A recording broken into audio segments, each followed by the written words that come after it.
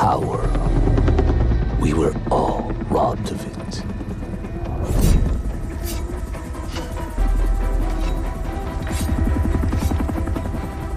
Those so-called heroes left us divided and broken.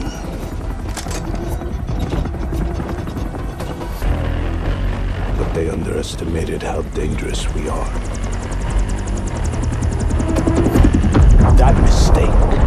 Gives us an opportunity. And for the first time, they'll understand